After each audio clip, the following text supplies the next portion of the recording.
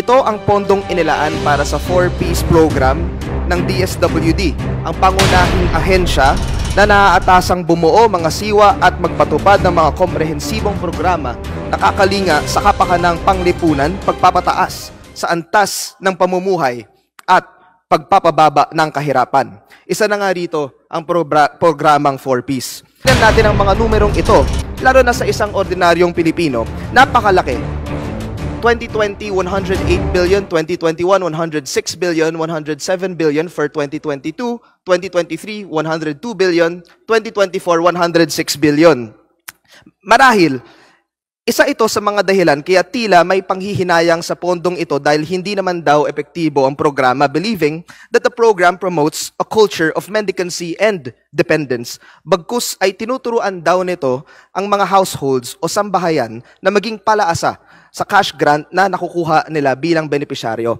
Halimbawa na lang ay ang pag-amin na noong 2023, 13 bilyon ang ibinawas mula sa 115 billion proposal ng DSWD sa NEP o National Expenditure Program ay naging 102 billion na lamang sa ilalim ng General Appropriations Act o ang pangkabuoang pondo na maaaring gamitin ng DSWD para sa programang 4Ps noong 2023. Bakit natapyasan ng ganun kalaki ang budget na to? Nito ngayong bilang ang benepisyaryo nananatiling malaki. Dahil daw, pinagbatayan ay ang utilization rate ng 4Ps na 45% lamang noong 2022. Ito ay ayon rin sa rational na ibinigay ng butihing senadora na nag-propose sa pagbawas ng budget. Pero bakit nga ba 45% lamang ang naging utilization rate ng programa noong 2022? Let's bakit parang naging mas madali na ngayon ang pagtapyas sa budget na tinatawag na pangunahing programa ng pamahalaan na layuning putulin ang mga sanhi ng malalang kahirapan ng ating bansa. 4.1 million 4-piece beneficiaries. Let us bear that in mind that these numbers represent the poorest of the poor in our country. Sila ang ating mga kababayan na nangangailangan ng dagdag na tulong upang mapabuti ang kalagayan ng kanilang pamilya. Isa pang paratang sa programa ay hindi naman it, daw ito epektibo dahil sa dahil sa labing limang taon na tinakbo ang programa, marami pa rin ang naghihirap. This belief just shows a profound gap in understanding the program's goal.